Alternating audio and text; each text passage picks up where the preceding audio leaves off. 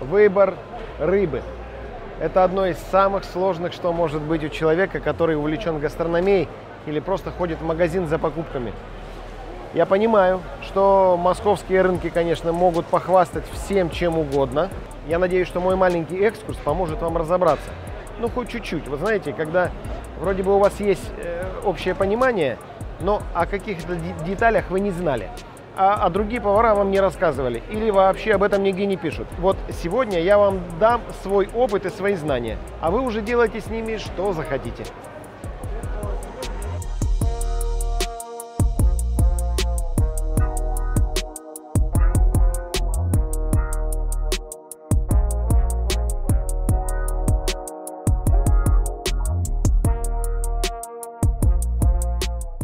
Я уверен, многие и без меня знают прекрасно, что первое, на что нужно обращать внимание, когда ты заходишь в рыбную лавку, в рыбный магазин, в рыбный отдел рынка, это запах. Сразу нос по ведру и понимаешь, пахнет тухлятиной или нет. Значит, смотрите, запах хороший, супер, значит моют, значит вокруг все чисто и, и прекрасно. Дальше мы подходим к рыбному прилавку и смотрим, что нам предлагает продавец. Существует три типа рыбы. Это рыба промысловая. Значит, вся эта рыба, практически вся, 99,9% э, приходит к нам из морей и океанов в замороженном виде. Она на прилавке может быть дефростирована, разморожена, да? Может быть снова заморожена, снова разморожена, там в зависимости от честности рыбного продавца. Второй тип рыбы – это охлажденка, которая приходит к нам, как правило, импортная рыба – но и есть небольшое количество российской рыбы, которая приходит охлажденной. И третья категория – это сезонная рыба. Она может быть и охлажденная, и замороженная в зависимости от объема, который покупает э, продавец. Сейчас, например, идет сезон корешки питерской. И сейчас идет сезон э, барабульки черноморской. Вы ее можете, в частности, найти в свежем виде. Напоминаю, вы должны всегда знать продавца в лицо, вы должны с ним наладить контакт, вы должны с ним дружить, для того, чтобы он знал и видел в вас постоянного покупателя, который постоянно приносит деньги. А вы, соответственно, его должны знать, что этот человек вас не обманывает, потому что если он вас будет обманывать, значит, в следующий раз вы к нему не придете. Если вы ходите на рынке, понтуетесь, такой типа, что ты мне там даешь? Я вас уверяю, будь то русский, азербайджанец, узбек, казах, кыргыз, неважно, будет отношение к вам вот такое да, не дай бог, и могут и продать что-нибудь не, неприятное и, и вообще. Я всегда говорю, ведите себя прилично в общественном месте, и люди к вам подтянутся. И будет уважение, нужно ко всем с уважением, если вы хотите, чтобы уважение было к вам. Значит, дальше. Первая категория – заморозка, промысловая рыба. Ледяная, не бывает охлажденкой, потому что ее заготавливают в океане. Месяц там находится судно, вылавливают, фасуют, сервируют, в брикеты или индивидуальная заморозка, когда замораживается индивидуально рыба, а не в брикетах. Ледяная, чилийский сибас, он ловится в акватории южноамериканских, там сказать, южноамериканского континента. Палтус, это Дальний Восток или Мурманск. Тоже это промысловая рыба, она приходит в заморозки, потом она либо дефрост, либо пилится на пилах, фасуется и в заморозке лежит, вы Значит, ее рекомендуется взять в заморозке, перетащить, сразу в морозилку положить и размораживать только перед приготовлением. И скумбрия. У нее зубов нету, но рыба очень популярная в России, недорогая, и люди ее с удовольствием едят, несмотря на то, что мясо у нее рыхлое. Ну вот как ни крути. И изредка бывают редко-редко поставщики, которым, вот, которые привозят охлажденную скумбрию, но это из области фантастики. Но рыба вкусная, у меня на канале самый топовый рецепт 3,3 миллиона это скумбрия, если вдруг вспомните или заходите что-нибудь вкусного из этой рыбки, заходите смотреть. Дальше. Сезонно барабулька. Мелкая черноморская барабулька. В сезон ее заготавливают, фасуют, замораживают в шоке, привозят замороженной. Весной, пока еще Черное море холодное, она ловится, и ее можно найти на рынках э, не только Москвы, Питера, других городов в охлажденном виде. Конечно, в охлажденном она вкуснее. Но в замороженном она приходит в рестораны, рестораны, которые часто ее используют, в большей степени покупают заморозку, потому что им хранить удобно. Мороз бросил, она там лежит. Гребешки. 90% на рынке это всегда заморозка. В некоторых регионах 100% заморозка. Франция там только понтуется и привозит иногда живых гребешков. Здесь есть аквариумы, э, в которых есть живые гребешки, но это как бы уже, так скажем, не до жиру быть бы живы. Сейчас идет сезон питерской корюшки. Вот питерская корюшка, это, это легендарная рыба. Я стою, у меня аж слюна течет. Ее надо нюхать. Корюшка пахнет огурцом. Свежим огурцом. Свежайшим огурцом. После съемки я останусь, куплю корешки, буду сегодня жарить. Просто мука, соль, растительное масло, смешанное с небольшим количеством сливочного. Жарите с двух сторон, а потом наслаждаетесь. И ничего больше для вас не существует. Что еще чаще всего бывает в заморозке промысловая? Это вся наша красная рыба. Я имею в виду российская, дикая. Горбуша, нерка, голец, чевыча, кета. Кунжа не красная, поэтому ее мы не берем. Вот эти все рыбы, которые я перечислил, они всегда в заморозке. Если вы видите ее, как вам говорят, охлажденная, не верьте, это дефрост, размороженная. Тот самый лосось, который мы называем лососем, одним словом лосось, странно было бы все виды мяса называть просто мясом, да? Это семга, которую привозят в Россию с, с акватории Фарерских островов. С Норвегией мы не дружим под санкциями, поэтому из Норвегии норвежского лосося нам не везут. Везут семгу с Фарерских островов. Она приезжает, э, прилетает в Россию охлажденка.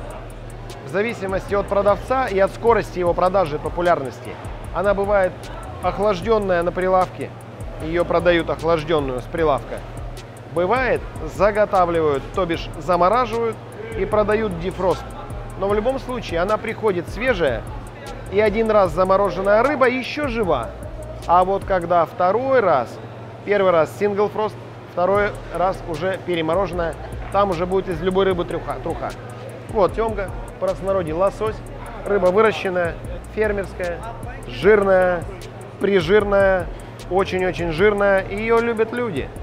У меня на канале никогда не было. Мы не будем готовить эту рыбу, потому что я против выращенной рыбы, против именно выращенного лосося. Сорян, друзья, но можно было бы хайпануть, но я не буду этого делать.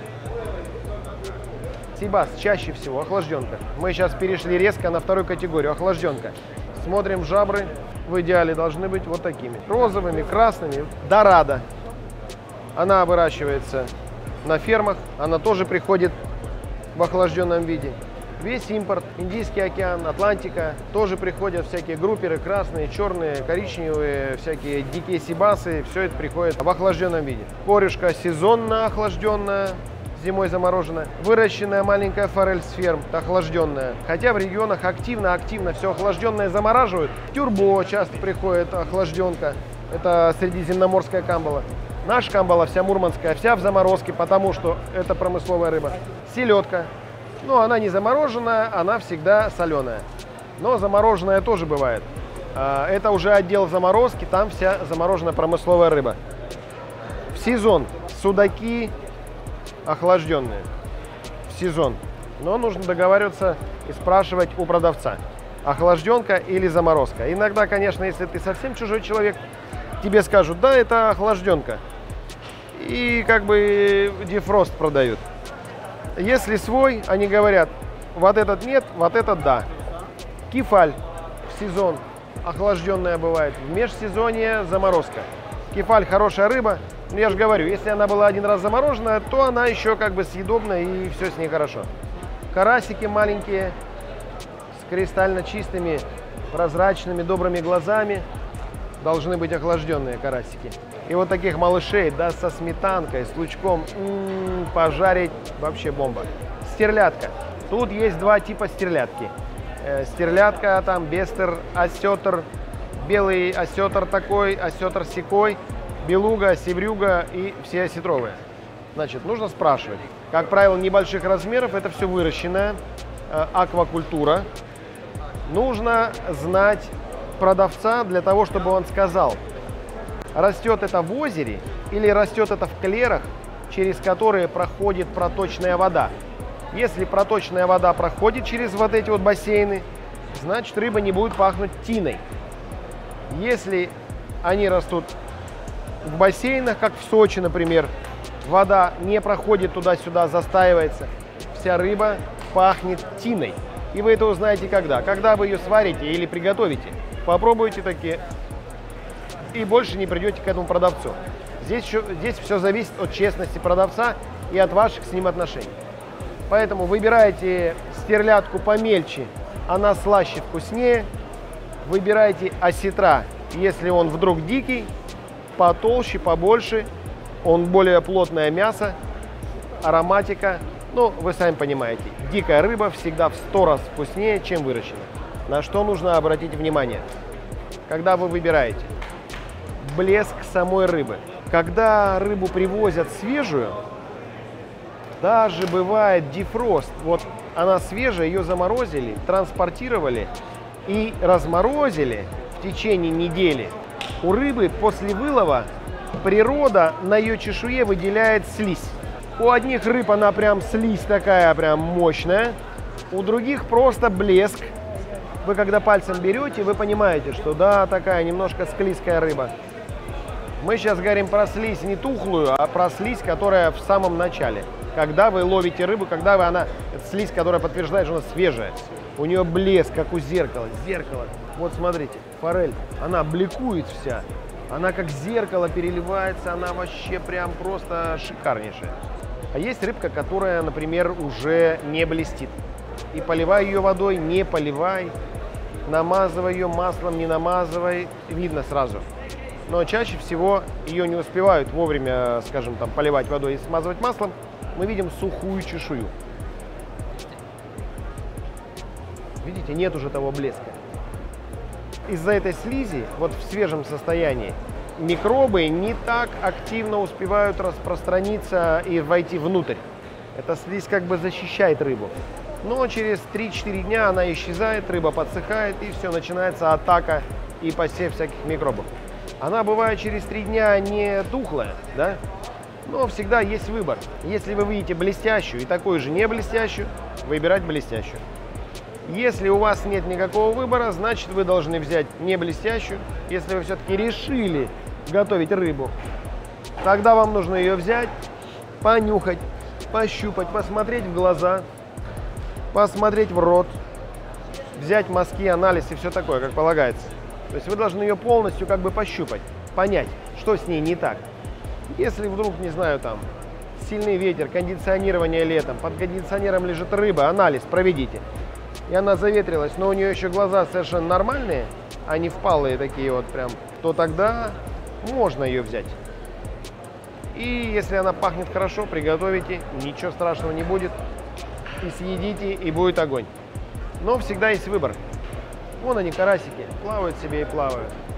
И ждут, когда же их на сковородочку отправят. Ну и, конечно же, вот эти все мелочевка, вот эта вся мелочевка, осьминожки маленькие, кальмар камчатский там, или патагонский, или китайский, или средиземноморский. Гребешки, это все дефрост. Это все приходит в замороженном виде. В Европе всегда на прилавках свежак. И кальмары, и осьминожки, там, конечно, с этим проблем никаких нет. У нас в России всегда заморозка мы, повара, привыкли к тому, что, ну да, ну заморозка. Ну и что теперь? Да, берем и готовим. Надо будет как-нибудь осьминожек пожарить. Тоже. Я когда на рынок прихожу, всегда вспоминаю о различных рецептах. Думаю, да, надо это, надо то, надо это, надо то. Селедка каспийская, каспийский залом.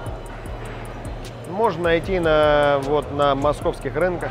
Дефицитная история, но на Драгомиле всегда бывает.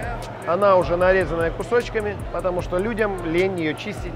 Она огромная, жирная, вкусная. Раки, кстати, везде хранятся по-разному, на льду. Но на Драгомиловском рынке всегда они хранятся со снежками. Можно же взять себе там килограмм раков, попросить и снежок положить внутрь, чтобы они там кайфовали. Как бы они так подружились за время пребывания в аквариуме со снежком, что дальше без снежков уже жить не могут. Взял раков, положил снежок, чтобы они у вас тебя в холоде находились, чувствовали себя комфортно, как будто они до сих пор лежат на прилавке. А ты их привез домой и, и под пиво сварил. Да. Что нужно знать про тунец? Нужно всегда смотреть, что находится в пакете после оттайки. Тунец оттаивает, и вот такая вот жидкость в пакете образуется. Если жидкость слишком красная, это значит, что тунец подкрашенный. Потому что повара и ценители тунца знают, будь то японский, тенерифский или испанский тунец, если он приходит у тебя в целой рыбине, есть такие опции, магазины привозят и поставщики привозят целую рыбу, клиентам рассылают смс, мол, типа рыба пришла, будем доставлять завтра, кому надо, денежки скидывают и развозят по куску. Так вот, если из целой рыбы вырезать кусок, положить его в пакет, заморозить, а потом разморозить, то выделяемая жидкость не будет красного цвета. Она будет, как у любой другой рыбы при размораживании, светлая. То вот наличие красной жидкости при оттайке обозначает, что его подкрашивают. То есть он изначально был светлый, их же там масса разновидностей тунца. Yellowfin, Bluefin, по текстуре, по размеру, по фактуре мяса разные. Так вот тот тунец, который попадается светлый, его при разделке чуть-чуть подкрашивают, я не знаю чем. Но так как еще никто не умер от тунца крашеного, это означает, что красят его натуральными какими-то средствами.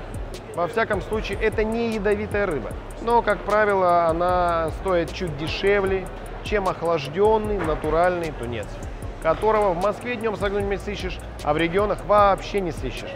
Поэтому что делаем?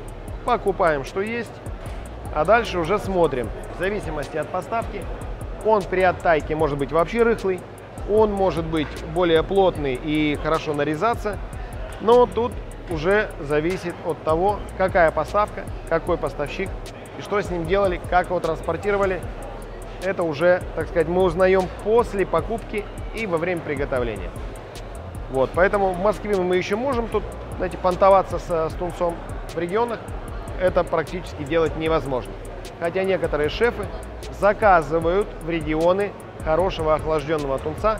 Московские поставщики возят.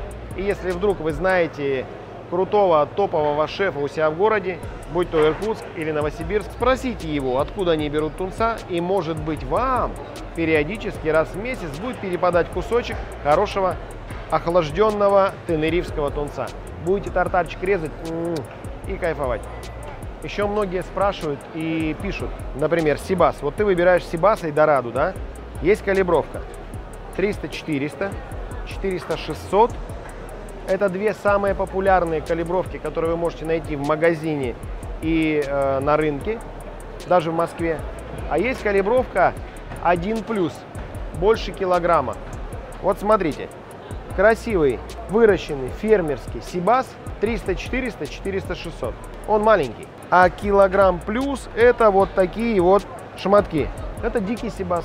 Он практически там э, в три раза или в четыре раза дороже, чем выращенный. Потому что дикий выращенный. Так и у нас. Что касательно, значит, семги с Фарерских островов. Вы без меня прекрасно знаете, что раз от раза она бывает разных цветов. Ну вот приходит поставка, например, да, она более светлая, а другая поставка приходит более темная. А некоторые вообще бывает мало жира. Вот это белые полоски это жир, а бывает семга вообще нет жира. Хвостовая часть, в ней всегда меньше жира. Вот это чистое масло. Кусочками нарезаешь, соль, перец, кинзы, чуть лимона ешь и как будто масло сливочное ешь. Потому что жира там прям вау. Это все зависит от кормов, которыми кормят, и от, называются это, э, цветовые присадки. То есть, когда поставщик, например, с э, государства, ну, допустим, маленькое какое-то государство, и, допустим, там всего лишь один поставщик, который приезжает на ферму и договаривается о поставках на всю страну. Так вот, он выбирает палитру, говорит, я хочу вот такого цвета. И ему рыбу догоняют по цвету. Кто-то любит прям вообще самую красную-красную, как нерка. При определенном кормлении мы получаем другой цвет. Прикольно? Ну, прикольно. Потому что если семгу вообще ничем не кормить, она еще на пару тонов еще бледнее. Она такая, вот как форель, вы речную, горно-ручевую речную форель, маленькую. Вы ее открываете, а мясо белое. Вот у выращенного лосося, он же не ест тот криль и тот пигмент, как дикий, нерка или чевыча. который делает цвет. Нерка живет, блин, на такой глубине, где водится эта маленькая креветка, она ее ест и становится красной. Здесь нет, здесь он водится, он наверху, он в верхних, верхних слоях воды. Это вообще не характерно для лосося. Они должны искать себе еду. Поэтому он мягкий, он мало плавает, он не такой жилистый. В нем много жира, потому что он такой, типа, братан, я кайфую, много ем, хорошо сплю, отдыхаю, поэтому жирный. А нерка там и чевычек, так, пожрать, пожрать, ребята, надо пожрать, что-то всегда в напряжении. Там жира нету. Ты получаешь и говорят, о, ну типа дикое мясо сухое, и что? Так оно разное. Не надо его сравнивать. Это выращено и жирное, а то беговое и сухое. Дикая рыба вкус имеет другой, выращенная другой. Да, люди любят выращенную, никак, как бы никому не запретишь. И, и не объяснишь там, в чем, в чем отличие. Отличие во вкусе. Не надо их сравнивать. Это разные рыбы, готовятся по-разному. И кайф, и витамины от них совершенно разные. Подвожу итог. Нужно знать продавца. Нужно чуть-чуть разбираться в рыбе. Обращать внимание, анализировать цвет и блеск. Сухая рыба или... Смотреть в жабры, смотреть в глаза, тыкать и смотреть. Если возвращается, то значит рыбка охлажденная. Если проваливается, не возвращается, как правило, заморозка. Но это все условности. Вы должны анализировать, смотреть, пробовать, и тогда вы начнете разбираться в рыбе лучше, чем я. И лучше, чем э, многие шеф-повара. И лучше, чем ваши соседи. В общем, капельку внимания, и вы будете лучшим изучателем и получателем вкусной и качественной рыбы.